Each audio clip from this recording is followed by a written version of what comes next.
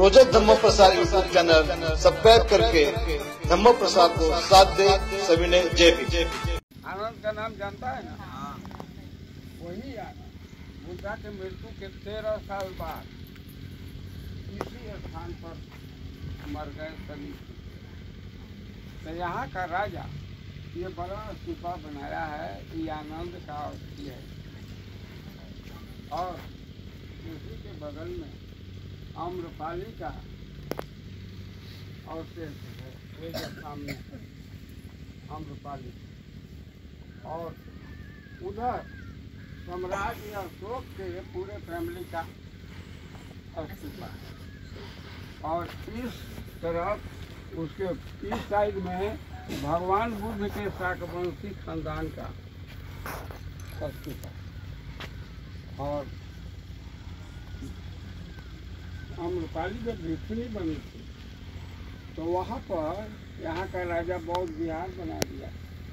प्रजापति गौतमी नारी के लिए भिक्षुनियाँ वर्षावास बुद्ध करते थे वो सामने दिखाई पड़ रहा है जो बुद्ध विहार बना दिया था यहाँ का राजा, जो उस में से सौ ने सबको तोड़ दिया। बुद्धिज्म समाप्त कर दिया। सबको तोड़ दिया। और वो जो स्तंभ है, उस पर जो चट्टी उधरा हुआ है, उतना माटी भर दिया था इसमें सबको झाँक दिया। झाँक करके बोध गया के मंदिर को तो चालीस फीट भाग दिया। चालीस फीट खुदाई के बाद तो मुहार मिला नीचे तो उसी तरह इसको भी झाँक दिया। और राम जानकी के मंदिर के ठाकुरबाड़ी में ये स्तूपा लेकर और सब भीतर में था। तो एक Jagdish Chandra Mathur Hindu S D O आया। तो वो एस डी ओ आया तो यहाँ पर इस आनंद स्तूपा को देखा, वो अथी को देखा। उसके बाद आर्कोलॉजिक सर्वे ऑफ़ इंडिया को खबर किया ये बौद्धों की ज़मीन है।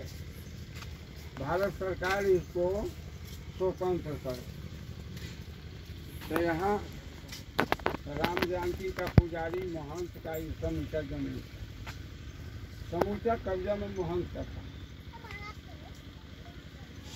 महंत के पास हमेशा गांजा पीने वाला एक सौ लठाई बदमाश रहता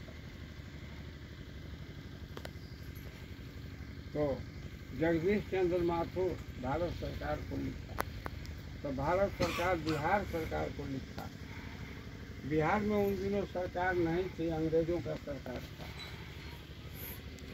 दिल्ली में भी अंग्रेज़ों का ही था। लेकिन ये आर्कोलॉजिक सर्वे ऑफ़ इंडिया एक जो संस्था है ये ज़मीन के भीतर क्या क्या है इसका खोज करता है। तो वो सरकारी संस्था उसी को कहा। तो ऊ का किया कि चारों तरफ़ खुदाई किया। तो वहाँ बुद्ध भगवान का अस्थि मिल गया और यहाँ आनंद का स्तूप मिल गया। सम्राट अशोक का मिल गया।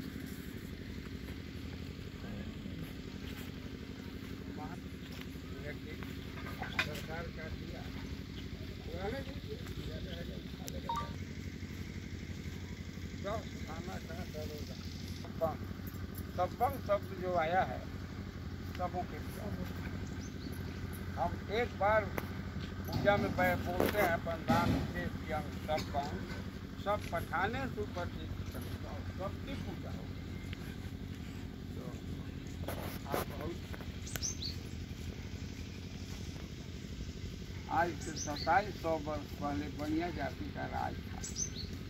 पूरे देश में शाकवंशी लोगों का राज था चौदह सौ बरस शाक वंश का लोग यहाँ राज किया है। उतना दिनों में बौद्ध धर्म का विकास हुआ। यहाँ नालंदा, विक्रमशिला तक्षशिला जो ये स्कूल बना था, रिसर्च इंस्टीट्यूट जिसमें पूरे रोजक Dhamma Prasad YouTube channel subscribe करके धम्म प्रसाद को साथ दे।